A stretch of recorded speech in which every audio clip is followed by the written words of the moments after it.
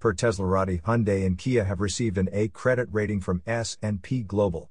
This upgrade from their previous BBB Plus rating is expected to reduce capital financing costs.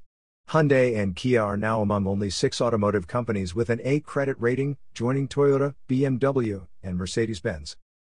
S&P Global believes Hyundai and Kia's balanced vehicle portfolio will aid in transitioning to electric vehicles.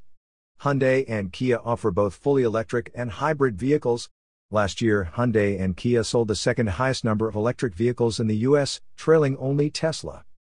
Additionally, Hyundai and Kia now hold A credit ratings from all three major credit agencies, S&P Global, Moody's Ratings, and Fitch Ratings.